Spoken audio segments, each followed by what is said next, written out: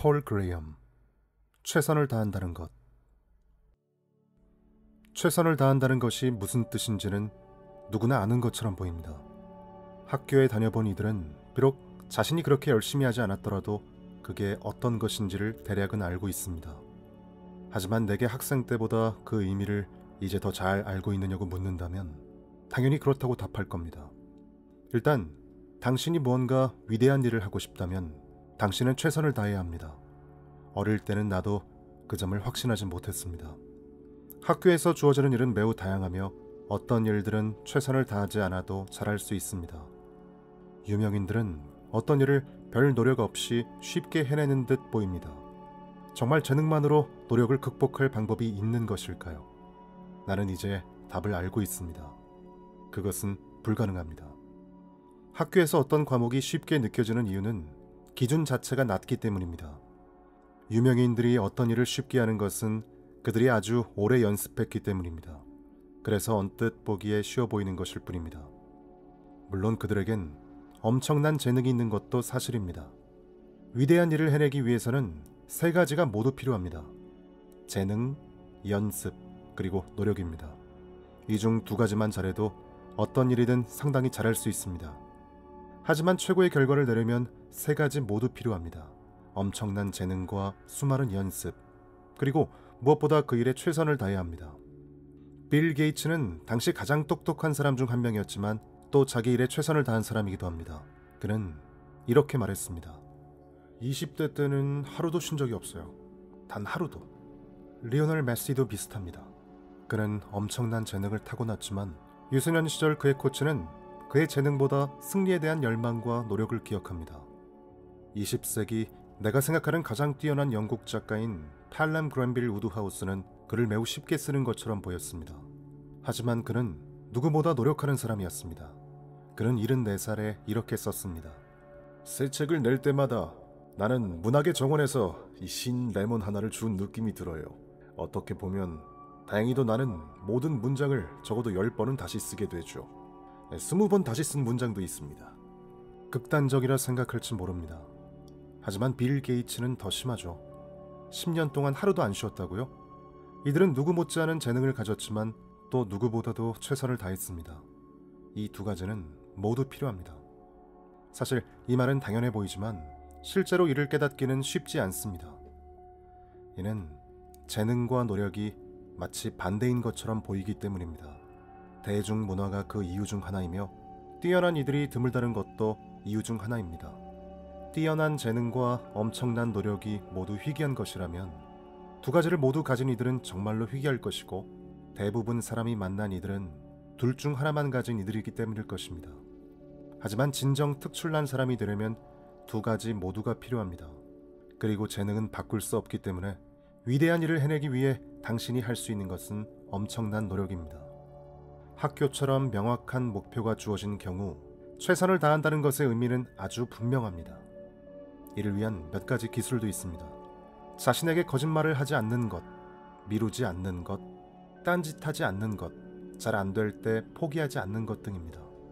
하지만 이런 수준의 최선은 아주 어린 아이들도 쉽게 익히는 것입니다. 외부에서 목표가 주어지지 않거나 목표 자체가 명확하지 않은 상황에서 최선을 다하기 위해서는 어떻게 해야 하는가가 정말로 중요한 문제입니다. 그러나 위대한 일을 해내기 위해서는 이럴 때도 최선을 다해야 합니다. 먼저 다른 사람이 당신에게 요구하지 않아도 스스로 일을 하는 마음가짐을 가지는 것이 기본입니다. 나는 매 순간 최선을 다하지 않으면 마음속에서 경고음이 울리기 시작합니다.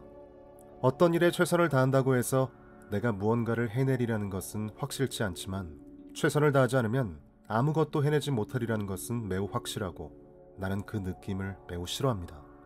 내가 언제부터 이런 생각을 하게 됐는지는 분명치 않습니다. 다른 아이들처럼 나 역시 새로운 것을 배우거나 무언가를 해냈을 때 성취감을 느꼈습니다. 성장하면서 나는 내가 뭔가를 해내지 못하면 마음이 불편해지기 시작했습니다.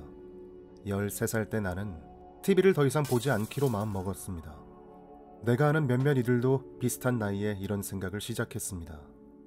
패트릭 콜리슨에게 언제 게으름을 피울 때 기분이 나빠지기 시작했는지 묻자 그는 이렇게 답했습니다. 에, 아마 13살이나 14살 때쯤인 것 같은데요. 아, 나는 거실에서 가만히 바깥쪽을 바라보다가 아, 왜 내가 이 귀한 여름방학을 낭비하고 있는지 생각하기 시작했어요. 사춘기는 무언가가 바뀌는 시기입니다. 그렇게 설명이 가능합니다. 흥미로운 사실은 무언가에 최선을 다하게 만드는데 가장 큰 방해가 되는 것이 바로 학교라는 것입니다.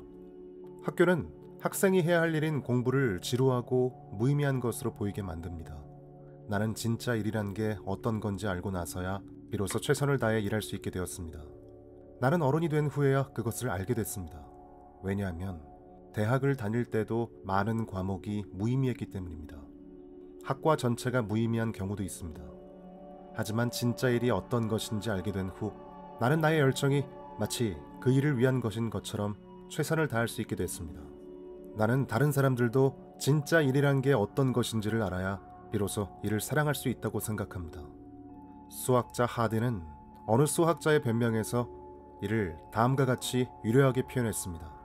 어린 시절에 나는 수학에 대한 어떤 열정도 없었습니다.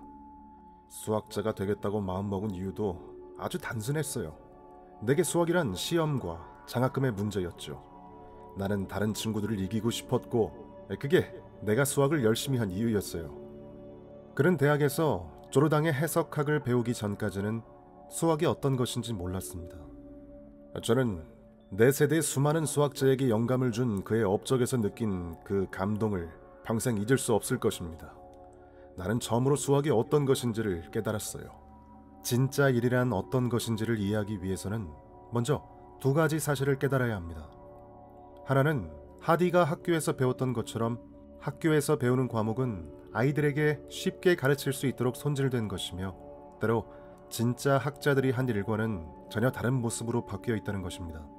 그리고 다른 하나는 어떤 종류의 일은 본질적으로 가짜이며 잘해야 소일거리에 불과하다는 것입니다. 그러나 진짜 일에는 어떤 확실성이 있습니다. 뉴턴의 프린키피아를 쓰는 것 같지는 않더라도 적어도 그 일이 반드시 필요한 일이라는 느낌이 있습니다.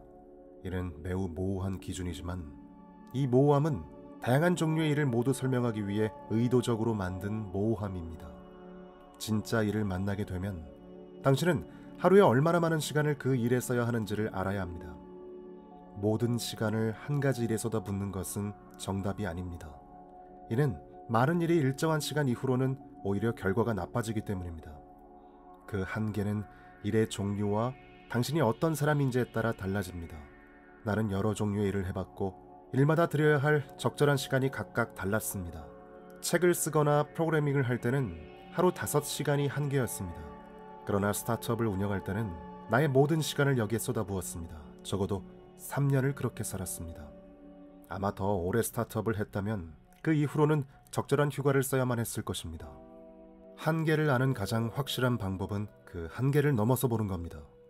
지금 당신이 하는 일의 결과에 대한 감을 길러야 하며 그 감은 언제 당신의 노력이 더는 효과가 없는지 알게 해줍니다. 여기서도 정직은 가장 중요한 가치입니다. 당신이 지금 게으름을 피고 있는지 혹은 불필요하게 과한 노력을 하고 있는지를 판단해야 합니다. 혹시 당신이 과도한 노력에 대한 어떤 로망을 가지고 있다면 그 로망은 버려야 합니다. 그 로망은 당신의 결과를 해칠 뿐 아니라 당신이 일을 하는 이유가 일 자체가 아닌 누군가에게 보여주기 위한 것이 되기 때문입니다. 노력의 한계를 파악하는 것은 한 번에 끝나는 일이 아니라 지속적으로 해야 하는 일입니다.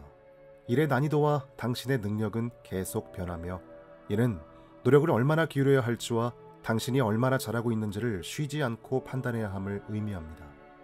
물론 최선을 다한다는 말이 항상 당신을 한계까지 몰고 가라는 것은 아닙니다. 물론 그렇게 하는 사람들도 있습니다. 하지만 내 경우가 더 일반적일 것입니다. 나는 새로운 일을 시작할 때 아니면 무언가를 확인해야 할 때 마음을 다시 다잡습니다. 왜냐하면 그 순간이 바로 일을 미루고 싶은 마음이 생기는 순간이기 때문입니다. 하지만 일을 일단 시작하고 나면 나는 그 일을 잘 끌고 나갑니다. 일을 계속하게 만드는 동의는 일의 종류에 따라 다릅니다. 내가 비아웹에서 일할 때 나를 일하게 하는 것은 실패에 대한 공포였습니다. 그때는 계속 해야 할 일이 있었고 나는 거의 모든 일을 미루지 않고 쉼 없이 했습니다. 주어진 일을 함으로써 밀린 일들을 줄여 나갈 수 있다면 기다릴 필요가 있을까요? 그러나 지금 내가 이 글에 시간을 쏟는 이유는 다릅니다. 바로 이 글이 불완전하기 때문입니다. 글을 쓰지 않는 동안 나는 마치 개가 누울 자리를 찾아 맴돌 때처럼 무언가를 계속 생각합니다. 하지만 일단 글을 쓰기 시작하면 나는 더 이상 자신을 몰아붙일 필요가 없습니다. 빠뜨린 내용과 잘못 쓴 단어들이 이미 나를 몰아붙이기 때문입니다. 나는 중요한 일에 집중하기 위해서도 최선을 다합니다. 대부분 일은 그 핵심에 가장 어려운 문제가 있고 주변에는 다소 쉬운 문제들이 있습니다. 최선을 다한다는 것은 할 수 있는 한 가장 핵심을 향한다는 것입니다. 처음에는 그것이 어려울 수 있습니다. 얼마 동안은 그저 주변의 쉬운 문제들을 먼저 생각할 수 있습니다. 하지만 그 자리에 멈추는 대신 가능한 한 가운데를 핵심을 향해야 합니다. 당신이 인생에서 만날 수 있는 가장 위대한 문제는 바로 이런 핵심에 있는 문제 중 하나일 것입니다. 가운데는 항상 어려운 문제가 자리 잡고 있으며 가장자리로 올수록 덜 중요한 쉬운 문제들이 있습니다. 즉, 특정한 문제를 해결하기 위해 늘 조금씩 당신의 노력을 조절하는 동시에 어떤 종류의 일을 할지 결정하는 더 커다란 인생을 바꾸는 조절도 한 번씩 해야 할 필요가 있습니다. 그리고 여기 적용되는 법칙은 역시 동일합니다. 최선을 다한다는 것은 가장 가운데를 향한다는 것이며 가장 위대한 문제에 도전한다는 것입니다. 그러나 무엇이 가장 중심에 있는지에 대해 모두가 항상 동의하는 것은 아닙니다. 어떤 문제가 가장 중요한지에 대해 사람들은 항상 잘못 생각하며 이는 일반적인 상황에서나 특정한 분야에서나 항상 발생하는 일입니다. 만약 당신이 무엇이 진짜 중요한 일인지 안다면 이는 곧 당신에게 아주 중요한 가치 있는 기회가 주어졌다는 뜻입니다. 더 위대한 일일수록 보통은 더 어렵습니다. 물론 그 사실을 부정해서도 안 되지만 단순히 어려움 자체를 어떤 일을 할지의 기준으로 삼아서도 안 됩니다. 때로 다른 이에게는 진정 어려운 일이 당신에게 어떤 다른 능력이 우연히 있거나 아니면 그 문제에 접근하는 새로운 방법을 찾았거나 아니면 그저 당신이 그 문제를 흥미롭게 생각한다는 것만으로 더 쉽고 적절한 도전이 되기도 하며 이는 당신이 그 문제에 뛰어들 좋은 기회라는 뜻입니다. 위대한 일의 상당수는 어려운 문제를 쉽게 만드는 방법을 찾은 이들이 이뤄냈습니다. 진짜 일이란 어떤 것인지 아는 건 못지않게 당신이 어떤 일에 적합한 사람인지 아는 것도 중요합니다. 이는 당신이 어떤 재능을 가졌는지와는 다른 문제입니다. 당신의 키가 2미터라고 해서 당신이 꼭 농구를 해야 하는 것은 아닙니다. 당신에게 적합한 일은 당신의 재능보다 오히려 당신이 어떤 일에 흥미를 느끼는가와 더 관련이 있을 수 있습니다. 어떤 주제에 대한 진정한 호기심은 다른 어떤 마음가짐보다 그 사람을 더 열심히 일하게 만들어줍니다. 물론 자신의 흥미를 찾는 것은 자신이 가진 재능을 찾는 것보다 더 어려운 일입니다. 흥미의 종류는 재능의 종류보다 더 많으며 재능은 보통 어린 시절부터 발견되기 시작합니다. 하지만 흥미는 더 미묘한 것으로 보통 20대가 되었어야 아니면 더 나중에 발견됩니다. 흥미를 느끼는 분야가 어린 시절에는 아예 없을 수도 있습니다. 그리고 자신이 그 일에 흥미를 가진 것이라 오해하게 만드는 여러 요소들이 있습니다. 돈을 많이 벌 수 있기 때문에, 다른 사람들의 칭찬 때문에, 아니면 부모님이 원하시기 때문에 사람들은 자신이 그 일을 좋아한다고 착각하곤 합니다. 자신에게 맞는 일을 언제 찾게 되는지도 사람마다 매우 다릅니다. 이것은 내가 어른이 되어 배운 것 중 가장 중요한 사실입니다. 어릴 때 나는 모든 이에게 천직이 있으며 사람들은 이를 발견하기만 하면 된다고 생각했습니다. 사실 모든 영화와 위인전은 이렇게 가르칩니다. 실제로 그런 일이 일어나기도 합니다. 모차르트처럼 어릴 때부터 자신에게 맞는 일을 찾고 그 일을 계속하는 사람도 있습니다. 하지만 뉴턴과 같은 이들은 평생 다른 일들로 옮겨 다녔습니다. 나중에 뒤를 돌아보며 이렇게 말할 수도 있습니다. 뉴턴이 수학과 물리학에 더 전념하고 연금술과 신학에 시간을 덜 썼다면 얼마나 좋았을까. 그러나 이것은 후양적 편견이 만든 환상일 뿐입니다. 뉴턴에게 자신의 천직이 무엇인지를 말해주는 목소리 같은 것은 없었습니다.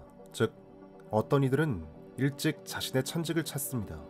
하지만 어떤 이들은 평생 천직을 찾아야 합니다. 이 천직을 찾는 이들에게 다음에 어떤 일을 할지를 찾는 것은 마치 여러 방정식을 동시에 푸는 것처럼 지금 일을 하면서 동시에 진짜 열심히 해야 할 일을 찾아야 하는 그런 문제를 푸는 것입니다.